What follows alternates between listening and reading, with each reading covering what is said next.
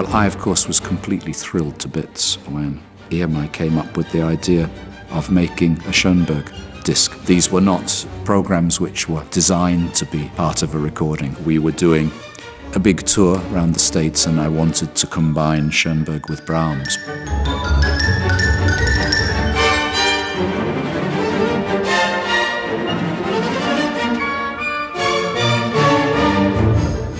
Piece has a trajectory that it gets actually more and more wild. For about two and a half movements, you're in absolute Brahms territory, and in, some in the second movement, also Mendelssohnian Brahms territory. Some of the lightest, most fantastical music he was ever to write.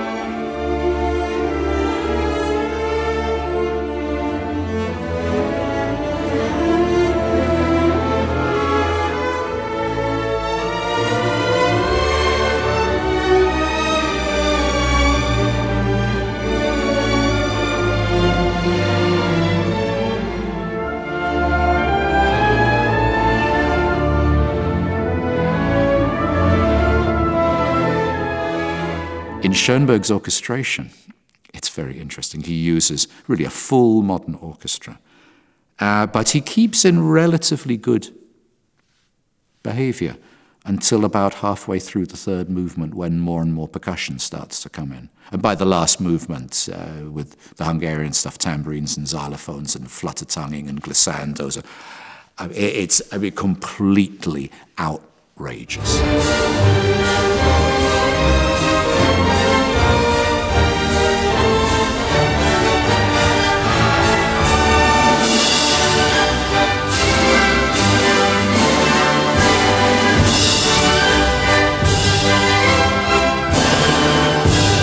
Also, it just simply sends audiences berserk. The last movement. Uh, they can't believe what they've heard. As long as you can, as, as long as you don't feel, oh, you shouldn't do that. And, but actually, the last movement of the piano quartet in its original form sends audiences crazy because it's a kind of unbuttoned Brahms. He, was, he didn't really do that.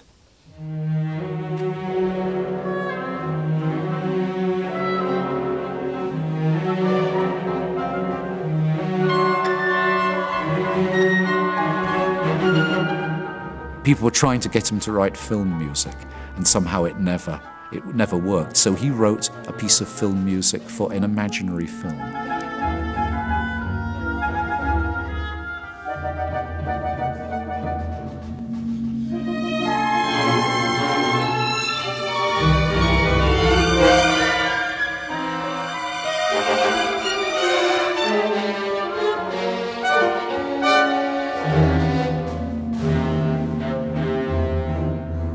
And this would have been a silent film, and it would have been directed by Fritz Lang, and it would have had Peter Lorre. Uh, and everybody would have worn dark hats. It would have been in dark shadows, of course, colour out of the. We're deep into film noir territory. And of course, we're deep also into American film noir territory. And he wrote it even with a, one, a, a cinema orchestra in mind. So it's for a, a rather small orchestra would have had to have been a very special cinema orchestra to play it because it's really, it's really tough.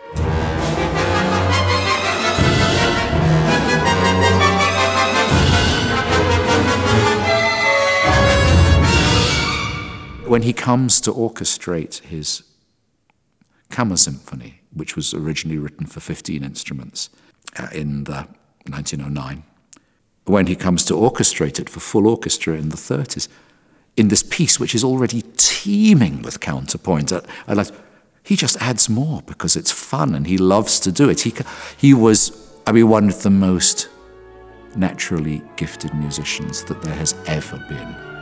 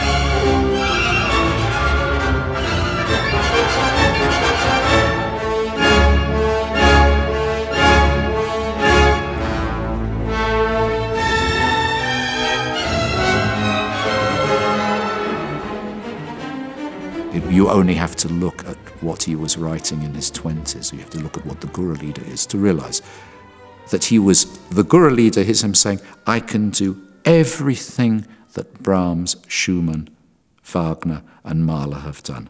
I can do it better, and I can do it all at once. I can do it with a much bigger orchestra. He can do it. He'd never written for an orchestra before he wrote the Gurre-Lieder. And the orchestration is still, for every composer, like a textbook of what you should do. He was an astonishing genius.